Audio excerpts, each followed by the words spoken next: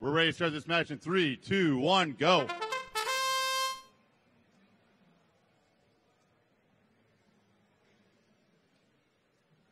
We are in match 184. Right now, the red team ranked number three. They are impressive. They currently hold the highest score in our division at 139. Right now, the 20s, the blue team are going up against our standard right now in our division. Let's see what they can do.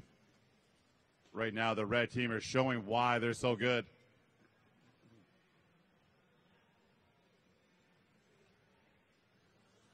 Nice, steady, autonomous. Look at the way they make sure they secure that. They do an excellent job every time.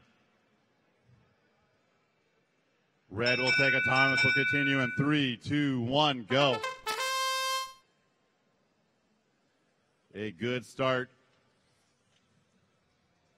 for the red team. Looks like they've got a very nice high stack going, and they're working on number two right now. Going for the small stack right now, getting that mobile goal into the 20. Very smart. Not worrying about the cones, making sure that mobile goes in. They like to stack higher with their 10 point mobile goals. Right now, they hold an 80 to nothing lead.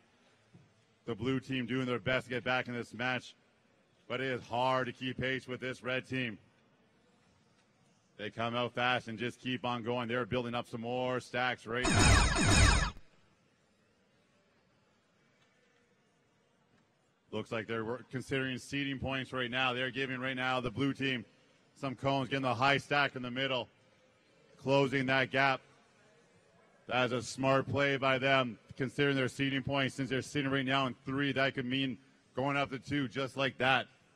That is what good teams do. Play a little strategy as well.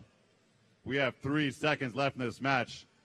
There we go. Let's pass it back over to Matt.